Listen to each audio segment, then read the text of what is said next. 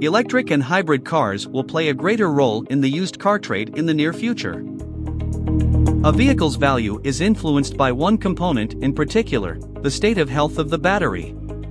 It's therefore essential to reliably determine the battery's residual capacity when purchasing, selling, and operating used electric cars.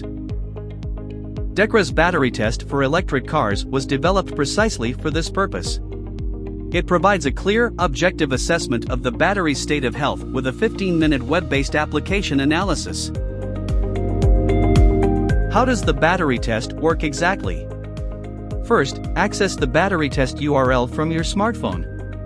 Connect the vehicle communication interface to the cable and the cable to the OBD port of the vehicle. General vehicle data is entered into the system.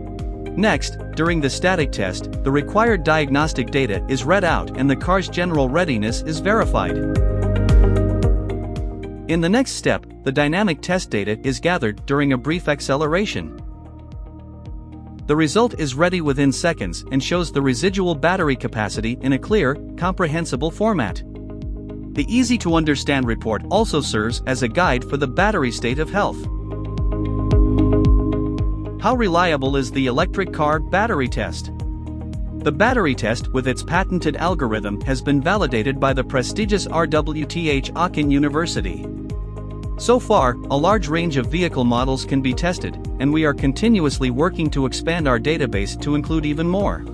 Would you like to determine the battery capacity of your used electric car? DEKRA supports you as a trusted third party provider with extensive experience in the electromobility and automotive industry. Contact us now.